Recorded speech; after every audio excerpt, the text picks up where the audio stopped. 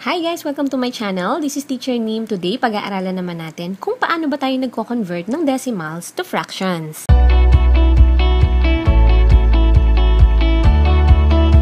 Start tayo dito sa given example. We have 0.25 or 25 hundredths. Makakatulong sa inyo yung mga previous topics na diniscuss ko dito sa channel ko, especially yung about decimals, fractions, and how to find the GCF sa pagko-convert natin ng decimals into fractions. Paano nga ba tayo nagko-convert ng decimals to fractions?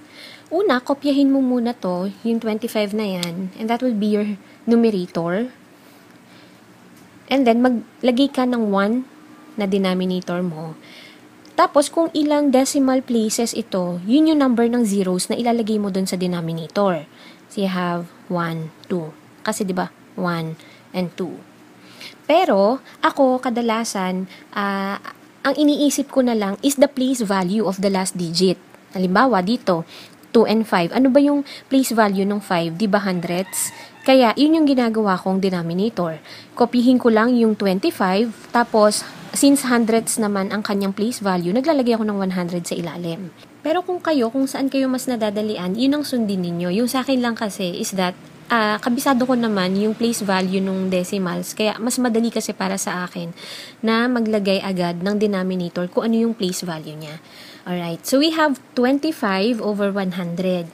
Hindi pa ito yung final answer natin kasi we have to reduce this fraction to its uh, smaller terms. So, paano ba gagawin natin dito? Sabi ko sa inyo kanina, magagamit natin yung uh, tinuro ko last time, yung how to find the greatest common factor of two numbers. So, we have to find the GCF of 25 and 100 here. Paano?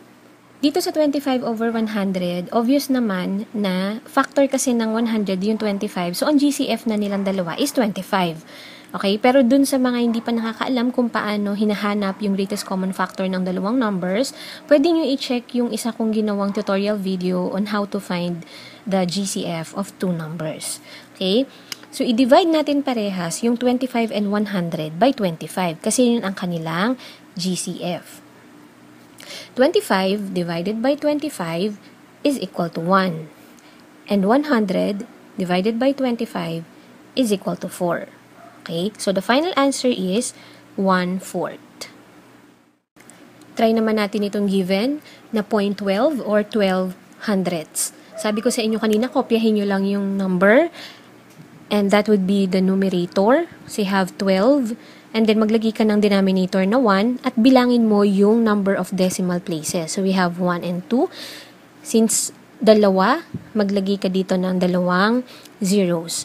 So, you have 12 over 100. Pero hindi pa ito ang ating final answer because we have to reduce it to its smaller terms. So, paano ba natin yan i-reduce?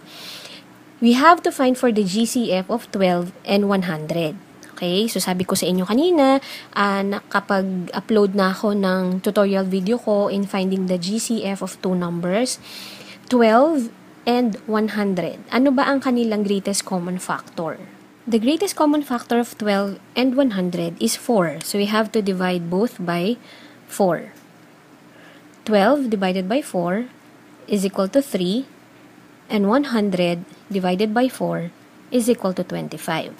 So the final answer is 3 over 25 or 3 25ths.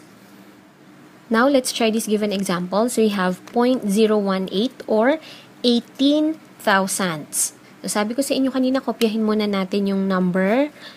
So, you have 18 over, then, maglagay tayo ng 1 sa denominator and count the number of decimal places, 1, 2, and 3. So, yun yung number ng zeros na ilalagay natin. 1, 2, and 3. At yung sinasabi ko sa inyo na dapat alam ninyo yung place value ng decimals. Kasi, mas madali na sa inyo kung halimbawa, itong Itong 0, tenths, and then yung 1 hundredths, yung 8 thousandths. Kung alam nyo na thousandths yung place value ng 8, madali na sa inyo yun. Lagay nyo na lang ng 1,000 sa ilalim. 18 thousandths. 18 over 1,000. Okay, yun yung sinasabi ko sa inyo kanina dun sa first example ko.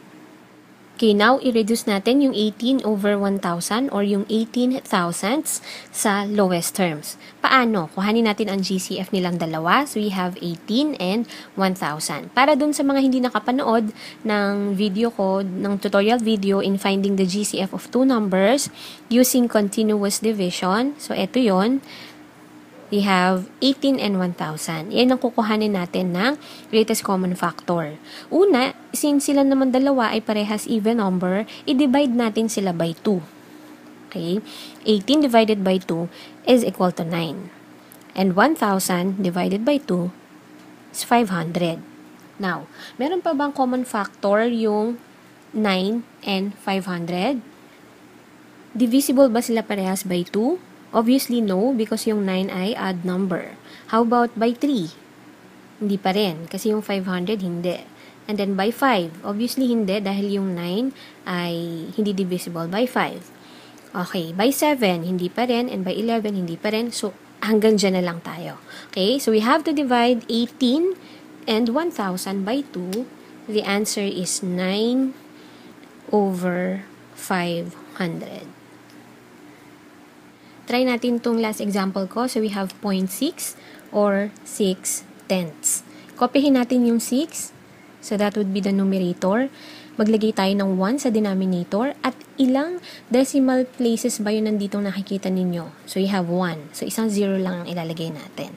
O, di ba ang daling tandaan kung alam ninyo ang place value ng decimals. Kung ito ay tenths, maglalagay ka lang ng 10 sa denominator. 6 tenths.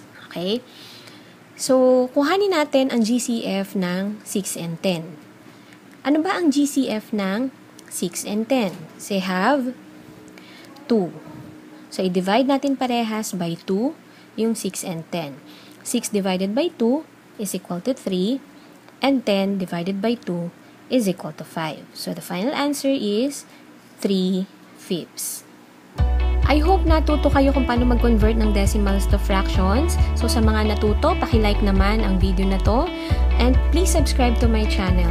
Click the notification bell para updated kayo sa lahat ng tutorial videos ko. Salamat!